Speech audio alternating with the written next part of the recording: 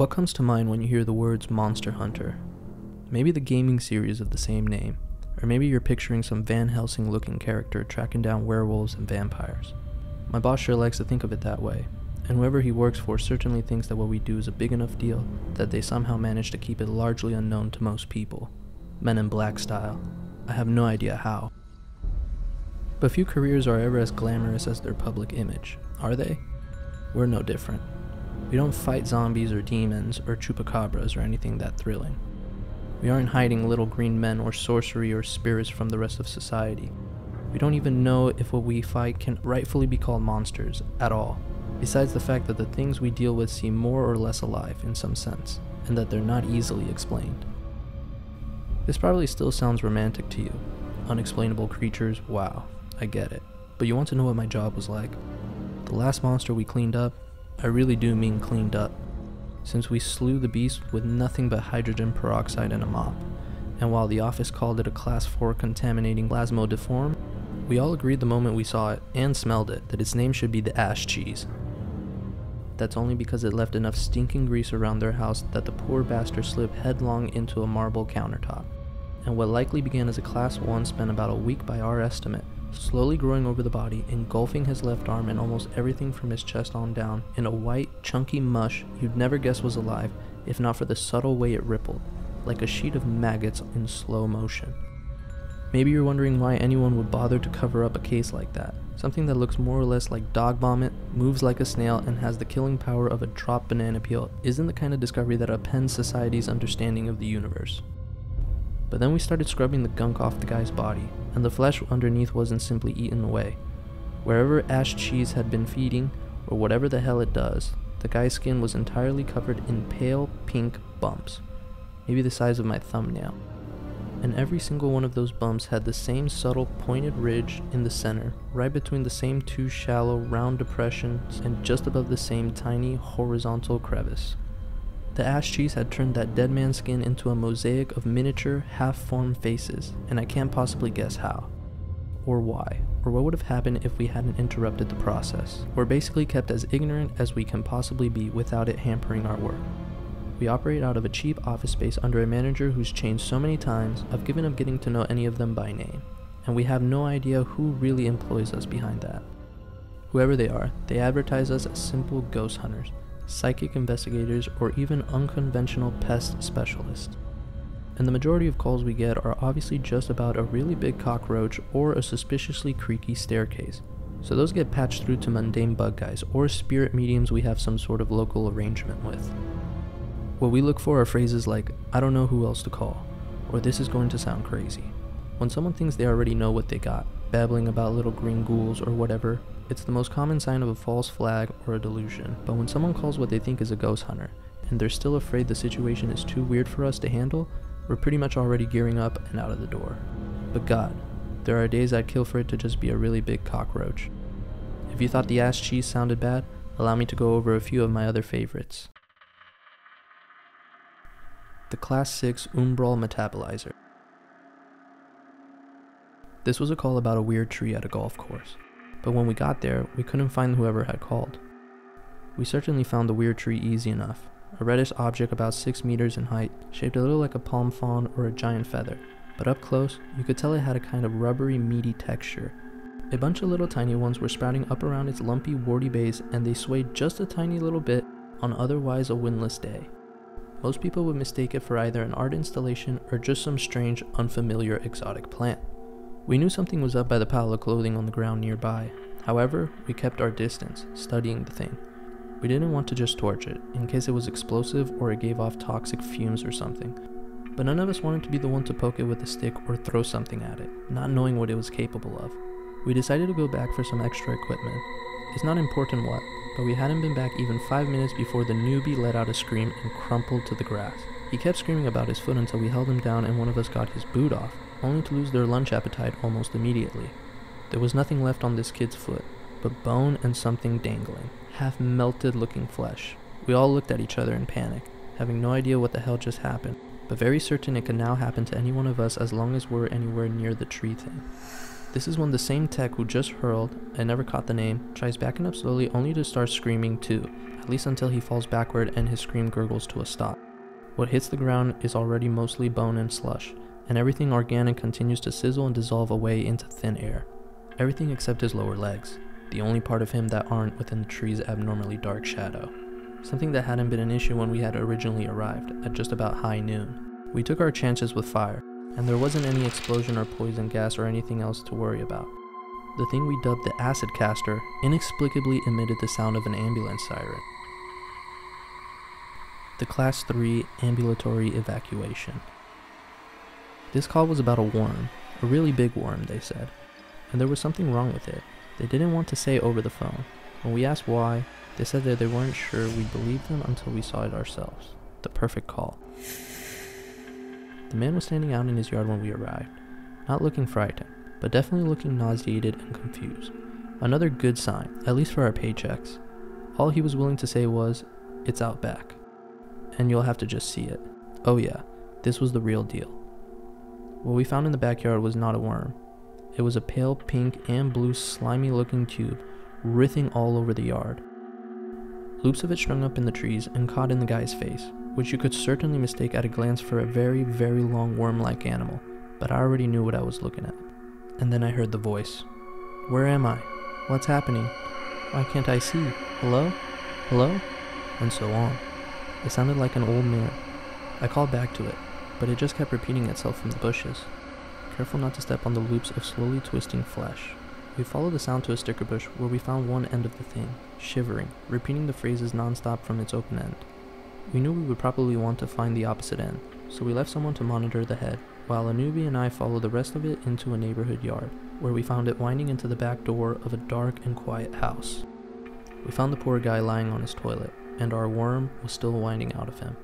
He was very, very dead, reeking of decay and eyes glazed over white. But damn, if his mouth wasn't still moving. No sound was coming out, but you could just tell by looking what those lips were saying. Where am I?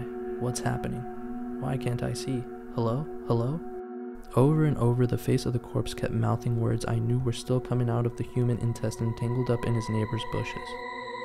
Maybe the first words the guy had spoken when his consciousness, for whatever reason, shifted from his brain to his bowels, and maybe the last words he had ever spoken before he forgot how to say or think anything else. We named this one the Creeping Colon. We never found a single clue as to what might have triggered its birth. We never do for any of them the Class 2 phalangiform malodorizer. This was a call from a couple of park rangers, who said they had to tape off a growing section of the woods because of some fast growing thing that stinks. We got there and we noticed two things. The stink, for one, which was more of a chemical sort of stink than a biological one. Think burning plastic. But it was still absolutely horrible. Second thing we noticed was the weird, goofy noise echoing through the woods, like someone going nuts on a slide whistle. It doesn't take us long to find the source. A huge mass of what almost looks at first like pale, segmented cable bending in on itself at sharp right angles like a huge, blocky mass of plumbing, but the pipes are made of bones. We followed the slide whistle noise to the end of the thing, and we could see it was kind of like a skeletal finger, but it kept extending and growing several inches by the second. It couldn't seem to grow in a straight line for more than a meter before it seemingly had to bend, and every so often another finger branched off. We discovered it was actually pretty fragile, that it stopped growing wherever it was broken off. But once we started snapping it apart, we noticed that its many tips were starting to grow towards us, and we had to try to work together to make sure it didn't try to impale anyone or whatever it intended to do. All seemed to be going fairly well until I heard one of my seniors, Jim, drop an uncharacteristic F bomb. He says it didn't hurt him, just surprised him, but that once a fingertip got close enough, it actually squirted him with some black stuff, like squid ink and it's like a concentrated blast of that awful, awful plastic stink. That's when the forest went weirdly silent. The whistly sound stopped, the snapping and the cracking of its growth stopped, and it was replaced by what I swear to God is a chorus of high pitched giggling as the entire structure started to crumble, blacken, and seemingly melt away. We figured it was over. A minor job, just one of the many monsters we've seen self destruct like that. Only problem is, how bad Jim smelled. We were all gagging the whole way back, and he took off for home as soon as he could. That was the last time I saw him. He called in sick the next day, saying the smell wouldn't go away. Two days later, he called in letting us know he tried everything he could and it had only gotten worse. In another three days, he was dead.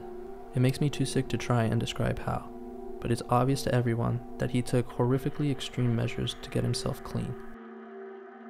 It seems like a sick joke that a monster would kill one of us with nothing but a bad smell. But I can't begin to imagine how revolting it must have gotten that he felt driven to do what he did to himself. We were calling the thing Stinkfinger at first, but a funny nickname felt disrespectful after that point, and now we just know it as the one that got Jim. The Class 6 Simultaneous Expressor. This one never presented a known danger, but God didn't make me uneasy. The client lived alone, and kept waking up covered in some kind of yellow mucus. We mean drenched, head to toe, every nook and cranny. No effect on their physical health we could find, but it was clearly freaking them out, especially because it even happened away from home, and they suspected it wasn't coming from them because it inexplicably only happened when they all slept alone. They were evidently too afraid to set up camera footage and find out for themselves, but wanted someone else to watch for an entire night and only tell them what they really needed to know. So three of us had a little movie style security feed stakeout, right outside the client's house. Sure enough, as soon as they fell asleep, something else came into view.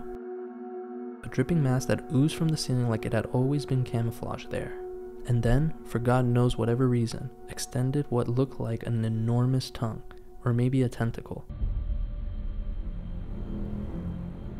The client somehow didn't wake up didn't even twitch as the thing peeled their covers off and just slithered its one gross, wormy appendage all over them, drenching them in that thick, gooey phlegm for no apparent reason. Wanting to gather all the data we could, we made an agreement with the client to not intervene the first night, but the process pretty much just went on and on like that, just sliming and sliming for hours and hours. Things only took a weirder turn at literally the last minute. We hadn't been able to see where the tentatongue was coming from until the entity actually turned directly toward the camera, and all three of us jumped out of our chairs. With practically a sob, met with a huh from me, and you mean me from Marcy, an older lady I was seldom paired with. It didn't take us long to figure out that to each one of us, the thing looked like it had our own faces sticking out of its slimy, warty flesh, but what we took for a tongue came out of a big hole where the nose should have been.